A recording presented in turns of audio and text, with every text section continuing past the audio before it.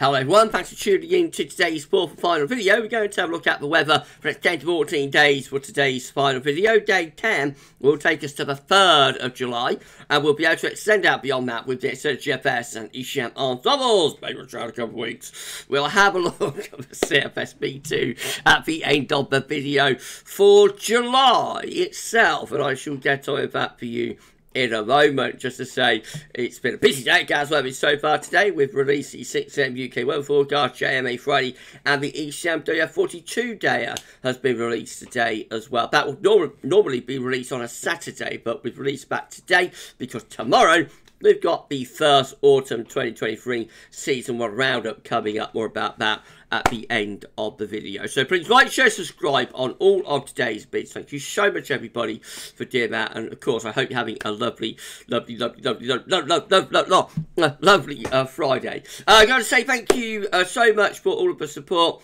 over all of the years and a very very happy birthday to my good friend Shiram. Shiram Pamu is uh, 50 today. Big big birthday. Happy birthday Shiram. I hope you're having a lovely day my friend. I hope this is the birthday of your dreams as you reach your half century.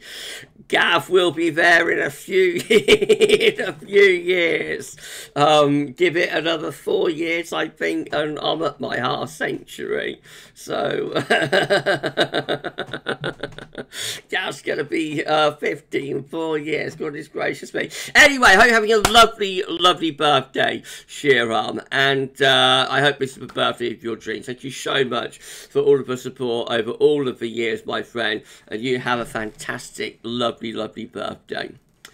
Okay, happy birthday to Sharon. Right, let's have a look at the and temperature then. So the CET is now up to 16.7.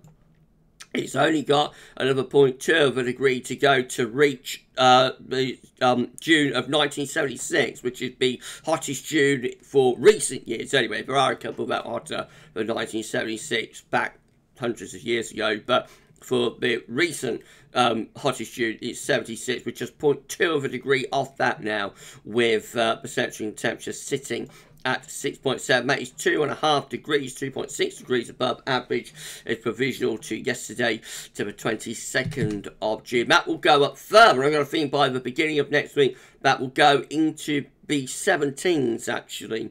But will it stay there? These are the GFS upper air temperature and precipitation ensembles for the next couple of weeks. We're looking at London today. The red line is the urgent year upper air temperature average for London, starting off above average at moment to go even hotter over the weekend. Then a dip takes place through the early part of next week. Another little tick up around mid next week, but nowhere near to the extent we're at now. And then the closing days of the month looking rather cool. We may find that the uh, CET therefore ticks down through the closing five or five days or so, five six days or so um, of uh, June. So it might be a close run thing whether we beat um, the CET from June 1976 or not. It could be a very, very close run thing. We might just come in ever slightly under it, but it will be very close, I think. Uh, beyond that, it just looks relatively cool then as we go through the first week of July. Temperature much closer to average. Uh, maybe signs of a bit of a warm up into second week of July, but of course that is a really long way off, so best leave that alone, I think. So the basic idea is starting off very warm to hot, cooling down, and then through the first week or so July, looking relatively cool or near normal with the uh, upper air temperatures then. Precipitation-wise, plenty of dry weather to come for London over the weekend into the beginning of next week. There will be thunderstorms breaking down this heat on Sunday, but they'll be mostly to the north. After that, the closing days of uh, June into the opening days of July might start going a little bit more showery. It doesn't look particularly wet, but might start going a little bit more showery there for London as we go through the first week of July. Temperature anomalies from the 23rd of June to 1st of July, around to a little bit above average, not as hot as it has been in recent days with these charts. And precipitation anomalies from the 23rd of June to 1st of July actually coming out average a bit wetter than average, particularly for more northern and western areas. Latest wind from map from earth, shows that uh, we've got uh, southerly southwesterly winds setting in. There is a weather system in the north actually today, in the north and west, bringing outbreaks of shower rain, high pressure uh, down to the south is protecting southern parts of the country from that rain. And as we go through the weekend, we'll find that high pressure building north at least for a while. Right, let's go through the chart data then. This is our latest UK Met Euro run. It's looking midnight on Monday, bringing cold front across the country at that point, taking showery bursts of rain with it and introducing fresher westerly winds. More showery conditions on Tuesday, and then quite a deep area of low pressure developing to west of Scotland on Wednesday next week. That could bring some gale force winds, and that's one that really breaks down the ridge of high pressure and sends all of us cooler and showery through the second half of next week with winds in from the west and from the northwest. That gets us to the 30th of June this time next week, last day of the month. Icon, again, taking that cold front across country Sunday into Monday. Could be thunderstorms in the north, probably not much rain though down in the south. Uh, into next week, so quite a deep area of low pressure to the north of Scotland Tuesday to Wednesday. Could bring some gales there and introducing a push of west northwesterly winds. They will be cooler and more showery as, as we go through the build to second half of next week. Again, Icon looking rather cool and showery with those west to northwesterly winds. The GFS midnight run is all much of a muchness up to the middle of next week. Anyway, second half next week, we start pulling in those northwesterly winds. They bring showers, maybe some longer spells of rain, and a drop in the temperature as well as the areas coming from the North Atlantic, as opposed to the Southern Atlantic and Southern Europe and whatnot. Uh, beyond that, so uh, we head up toward day 10, looking rather unsettled, rather showery, low pressure again in the North Atlantic to the northwest of the country, bringing these west northwest winds. They'll bring showers uh, with them too. Uh, now, we've got this area of low pressure just here that's developing just to our west on Tuesday, uh, the 4th of June. So from Tuesday, 4th, Wednesday, 5th of July, we're just beyond day 10 now. Actually starts getting quite stormy, very inclement, with that area of low pressure being uh, not only bouts of heavy rain, but also gale force winds as well. Look at that big dartboard, been a long time since seen one of those. Big dartboard low right over top of the country there on Wednesday, the 5th of July. That looking very, very unsettled indeed. Beyond that, the low pressure then starts lifting out to the north again, but we're still in this rather cool, showery northwesterly flow up to the end of the GFS midnight run, which gets us to Sunday, the 9th of July. We're looking rather mixed. The GFS 6Z again is looking like this, rather showering on Monday, particularly the north, main dry down in the south. The middle part of next week goes cooler and more unsettled as well,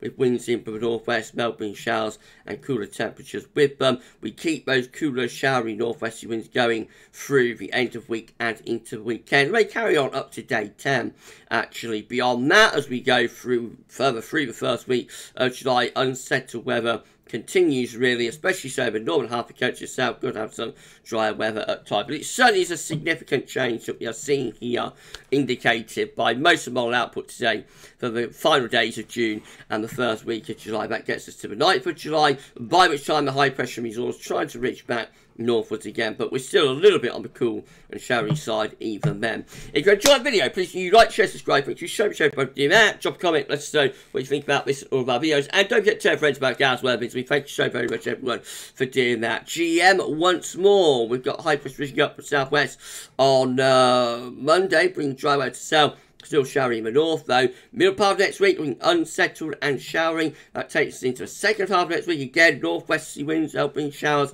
and quite cool temperatures as well.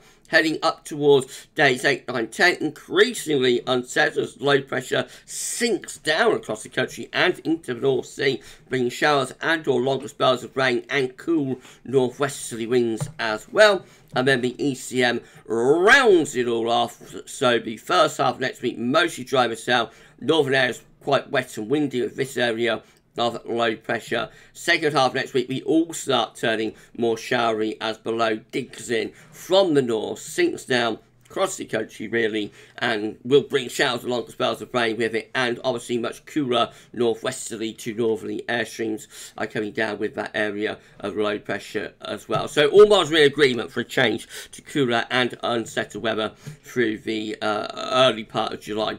Precipitation wise, showers along with spells of rain in the north and west over the next few days, mostly dry down in the south and southeast. That's the bungee breakdown on Sunday. So, particularly for central north regions, some storms could get as far south as Wales and the Midlands, but they're really for northern England, Scotland, and probably for Northern Ireland as well. Beyond that, the early part of next week, showery in the north, mostly dry though, down in the south. Uh, and then we're into those more unsettled showery conditions through the second half next week with showers and or longer spells of rain, never all that far away. These are the options on the table within the ECM ensembles today for day 10.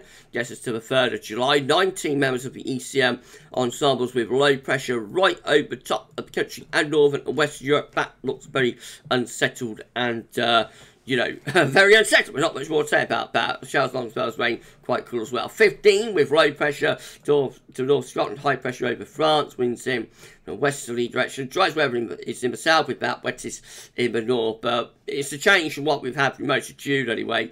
10 with low pressure again sinking through the North Atlantic into northern and west Europe. That one also looking unsettled and cool, and then 7 including the operational run uh, with low pressure over and to the north and east of country. Again, winds coming in from northwesterly direction, that also looking unsettled. Most of those options are involving low pressure at day 10 on the 3rd of July. Just the exact placement of below uh, and how deep it gets is, is uh, a little bit uncertain. But nearly all those options are involving high pressure. In two weeks' time, these are the options that we've got. This gets us to the 8th of July. 23 members of the ECM ensemble, possibly building up some sort of higher pressure to our south and southeast. So that's trying to return us back to something a little bit drier and warmer, I think. 16 with low pressure goes Scandinavia, high pressure again to our west and southwest. Winds coming in from a west northwesterly direction. Again, that high pressure is trying to reach back in, but we haven't yet quite got rid of the low pressure to the northeast. And 12, though, has us back under high pressure as early as the 8th of July. So uh, Beach 12 just here have the ridge coming back. So after an unsettled opening to July, we may well find ourselves going into something uh, more settled again by the second week of the month. That's certainly where JMA Friday and the ECM did a 42 day, 42 day were you know, uh, today. So, uh, without letting the cats out of the bag. Um, so, so let's wait and see. This might only be a temporary interruption to uh, what has so far been a very warm and very hot, dry summer, really. Uh, okay, last thing to look at is CFSv2. This is 700 millibar height along today height anomaly today for July with above average heights over and to west of the country. Probably some lower pressure up here though. So we're more or less under high pressure there, but would have some influence of the jet stream and low pressure, to, particularly so to the north. That brings the rate at times to the north. Um, the temperature on is forecast to be a little bit above average, probably not as warm uh, to average as it has been in June. And precipitation wise, there's no signal. I would suspect it will be a classic north south split, stream north and drier in the south. We should wait and see about that. Right, we're done. If you enjoyed the video, please like, share, subscribe. Thank you so much, everybody, for doing that. Drop a comment. Let us know what you think about this and all of our videos. Don't forget to tell friends about Gals Weathers. Thank you so much, everybody, for uh, doing that. We need to put on around 30 subscribers. Just under that, actually, around 28 now. I think 27, 28 to get ourselves to uh, 16.4k. So please give us a sub. Thank you so much, everybody, for doing that. We are ultimately grinding away. We're grinding.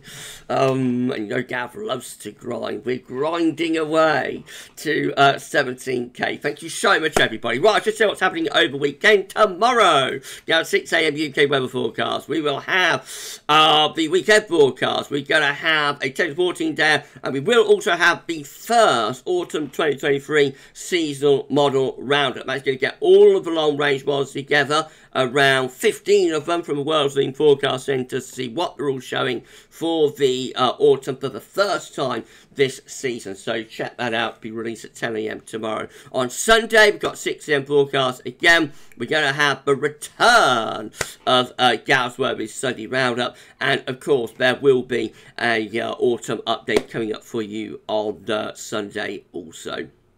You enjoy the rest of your Friday afternoon. And for this one, though, that's all for now. Thanks so much.